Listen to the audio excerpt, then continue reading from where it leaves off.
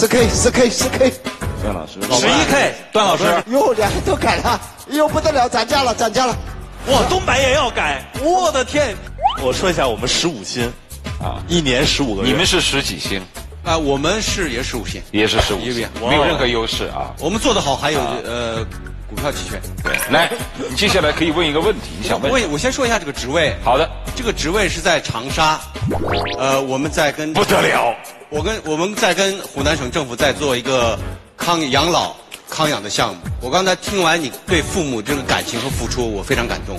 我觉得你就是那个我们想要的人。嗯，所以说你是我们这个康养项目的项目顾问，同时我是同时还是我们的客户体验的专家啊。来，谢谢大总你这个职位是在哪儿？对我们呃，我们这个职位，我说实话，我觉得那个那边还挺适合你的。但是如果你你想来北京的话，我们这边的岗位是北京的岗位，是行政岗，然后呢，呃，也呃直接向我汇报的。哎，你有什么问题要问吗？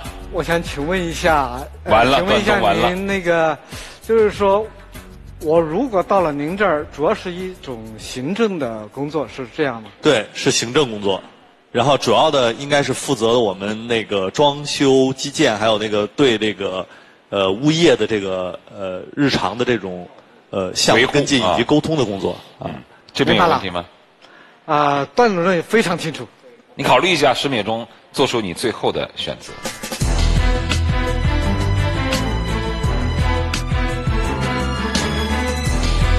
天鹅到家，少年得道，或者是谢谢再见，您的选择是天鹅到家，去吧，嗯，去去去谢谢你跟段总握个手吧，啊。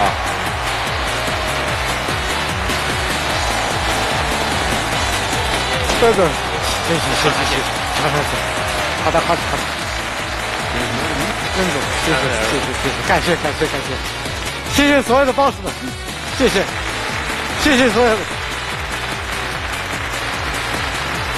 我觉得谭大哥做了一个很好的范例。很多人会觉得年纪大了再去转行或者求职是一件非常困难的事情。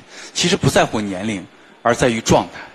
我相信此时此刻最欣慰的是你的已经去了的母亲和你姐姐。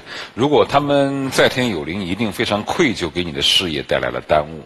但是今天，你依然在职场上，在七八年之后，你依然找到了属于自己的位置，你实现了你真正的价值。所以告诉所有的朋友们，就是再怎么难，它都会过去。谢谢你，谢谢冯老师，再见。谢谢所有。呃，对于今今天这个结果呀、我事先是没有预想到的。